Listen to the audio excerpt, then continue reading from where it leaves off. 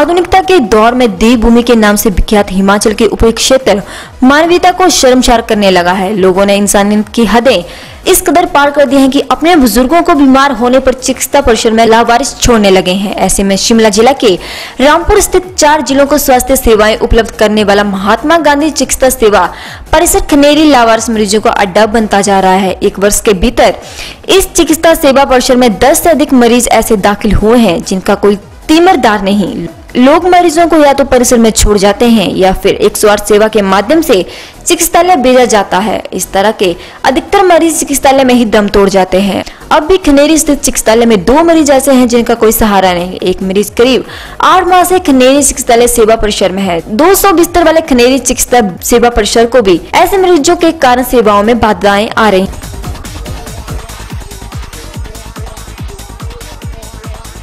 है। चिकित्सा सेवा परिषद के प्रबंधकों का कहना है कि बे दवाएँ और उपचार कर सकते हैं, लेकिन बिना तीमारदार के रेफर करना हो या मरीज़ के अन्य सेवा संभव नहीं हो पाता है। हालाँकि कुछ जन से भी ऐसे मरीजों की रात दिन सेवा में लगे हैं, लेकिन समिति संसाधनों के भी आगे कुछ नहीं कर पाते। चिकित्सा सेवा परिषद के मेडिकल सुपरिटेंडेंट डॉक्टर एन के मेहता का कहना है कि उन्हें यहाँ का प्रवास संभाले छह माह हुए हैं। इस दौरान सात आठ मरीज़ ऐसे आए हैं, जिनके साथ तीमारदार नहीं होता है। हम उन मरीजों को दाखिल तो कर लेते हैं, मरीज़ को दवाएँ, उपचार और भोजन का तो बेबंदोबस्त करते हैं, लेकिन मरीज़ को अन्य सेवाएँ या फिर रेफर की सूरत में दिक्कत आ रही है।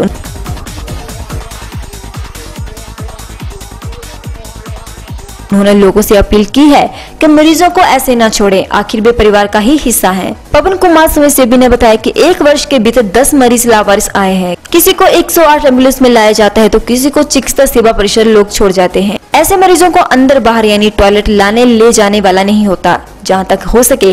तो ऐसे मरीजों की सेवा वे कर रहे हैं। उन्होंने लोगों से अपील की है कि इस तरह अपने बुज़ुर्गों को ना छोड़ें। जिस माँ ने दूध पिलाकर बड़ा किया है या जिस बाप ने उंगली पकड़कर चलना सिखाया है, उन्हें अब लावारिस छोड़ना शर्म की बात है। ऐसे में मानवीयता की हदें पार ना करें।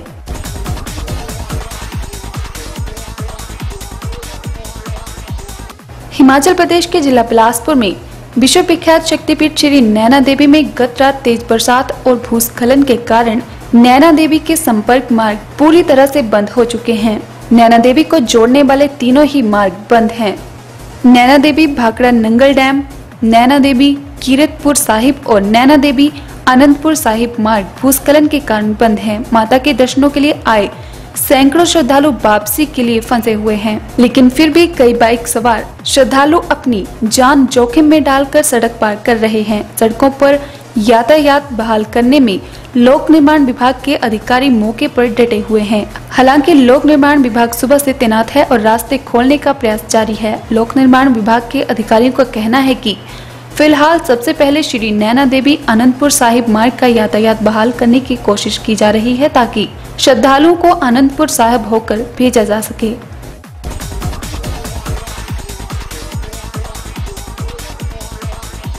प्रदेश में भारी बारिश से जनजीवन अस्त व्यस्त हो गया है। जिला हमीरपुर में बारिश ने भारी तबाही भारी तबाही मचाई है। ज़िले में कई जगह मलबा गिरने से करीब दो दर्जन संपर्क मार्ग तथा दो राष्ट्रीय राजमार्ग बाधित हुए। वहीं जिला में शिक्षण संस्थानों में छुट्टी न दिए जाने के चलते छात्र भीगते हुए किसी तरह घरों से तो निकल गए हैं, लेकिन अभिभावकों को यही डर सता रहा है कि वे सुकुशल स्कूल पहुँचे भी हैं या नहीं। हमीरपुर में सुबह शुरू हुई बारिश के कारण स्कूल के छात्रों को दिक्कतों का सामना करना पड़ रहा है तो वहीं अभिभावकों को भी परेशानी उठानी पड़ी। तेज बारिश के कारण सड़कों पर पानी ही पानी हो गया और नालियों ने नाले का रूप धारण कर लिया।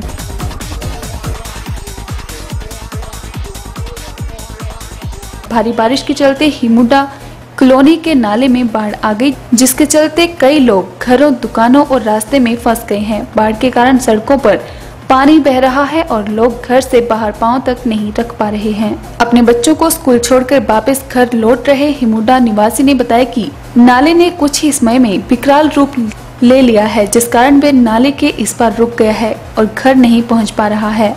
वहीं पानी का तेज बहाव होने के कारण गाड़ियाँ भी नाले को पार नहीं कर पा रही हैं। गाड़ी में बैठे ड्राइवर ने बताया कि नाले में पानी होने के चलते गाड़ी में ही बैठकर इंतज़ार करना पड़ रहा है